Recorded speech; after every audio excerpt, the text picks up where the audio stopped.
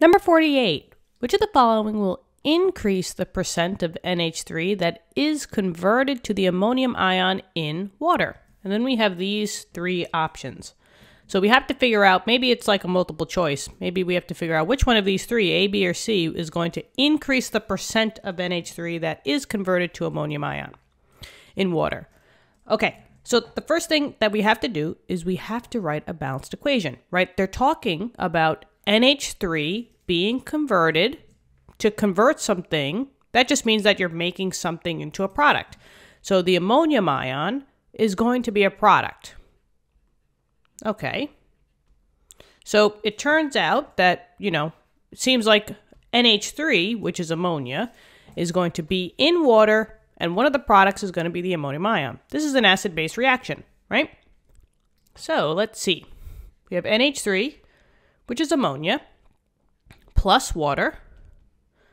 And just know, guys, that NH3 is always going to be a weak base. All right. So, generally speaking, when you have NH3 um, with water, the NH3 is going to be the base, and then the water is going to act as the acid. Double arrows because ammonia is not one of my strong um, one of my strong bases. So then remember, a base always takes the hydrogen, so this will turn into NH4 plus. And that's ammonia, right? This one we know a polyatomic all the way back in the day. And then that means that the H2O lost a hydrogen, so it just becomes OH minus. Okay, so now we found out what our equation is, and maybe I'll just bring this down over here. And oopsie, there we go. All right, so it says, which of the following will increase the percent of NH3 that's converted to ammonium ion? So basically, we want to find out which one of these is going to increase how much NH4 plus we're going to make, right? We're increasing the conversion, we're increasing the amount of NH4, right? So we want this to increase. Now, they're also talking about percent, so we have to know the percent ionization formula. And anytime that we're doing acids or bases, the percent ionization formula is this right here. Maybe I will put this, um, let's see, where can I fit this? I guess I'm going to just put this over here. Now, this just depends on whether you're doing, you're talking about acids or bases. Since we formed an OH minus, the percent ionization is going to be OH minus divided by your initial concentration. But now, when we're doing acids and base uh, balanced equations, you can easily just swap one for the other. Since OH minus and NH4 plus are both products, and the ratio is a one to one, you could easily just say, okay, I don't really want to, I don't care about OH minus. We could just get rid of this and just say, okay, I want to solve for NH4 plus, which is what I want to do. Right? I want to find out this increasing. So that's just basically where this is coming from. Remember, the percent, if you want to increase the percent, that means that this has to increase, which basically is what we're talking about here. So now, which one of these is going to lead me to an increase in NH4+. plus? Well, let's go based off of letter A. We're adding NaOH. Now, this is all about Le Chatelier's principle, right? This was back in chapter 9, the gas chapter, which I wrote down here. So this is kind of just like a refresher. If we're adding NaOH, right? And this is this is ionic, right? This will dissolve, right? Or disassociate to Na plus and OH minus. So when we go back up here, we have to say, okay, is there anything that's in common between these two ions and this whole equation? Yeah, the OH minus, right? And that's over here.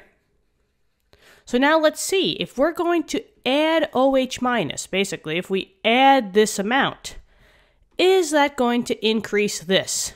Well, let's see.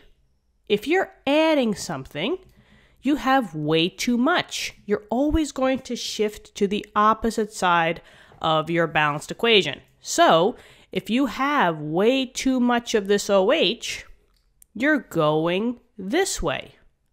Is that going to cause an increase in NH4 plus? Remember, that's what we want.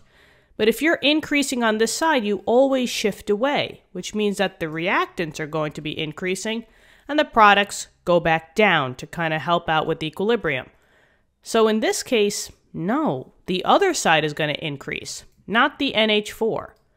So this one, unfortunately, that's not going to do it. We have to go to the next one. Okay. And now actually, actually what I'll do is I'll just say this was letter A, and we're increasing here, just so that you guys have it. Okay, let me put letter A over here. Whoop. Now we're going to work on letter B. Let's see, is that the one that does it? Well, letter B. We're now going to add HCl. Okay, well, let's see. The dissociation is between H and Cl. I have H plus, and I have Cl minus. Now, the first thing you say is, are any of these in my balanced equation? No, right? I don't see an H plus and I don't see a Cl minus. But the thing is, now we have to figure out which one of these two can react with what's going on here. It's this one, right? Because we know a formula that any time that H plus sees an OH minus, it will always turn into H2O. So because I see an H plus, I know that it's going to grab the OH minus and it's going to help make more water. So there's two ways that you could look at this. We could either say that the OH minus is going to be decreasing because it's going to be converting into H2O, or you could say on the flip side that the water is increasing. So whether you say that OH minus is dropping or H2O is rising, you'll get the same answer. Let's just say, I don't know, I guess since we produced way, you know, actually, eh, I guess we'll stick with the OH minus because we did it for here. So now in the on the flip side, this will drop because the H plus that you added is going to snatch up that OH minus and turn it into water. So in this case, now you're decreasing your OH concentration. Now you have too little. If you have too little of that amount, you shift to the same side. So if I have a decrease on this side, I'm going to shift to that side to get it back. And that means that the NH4 would rise. And that's what we wanted. So on B, the answer is yes.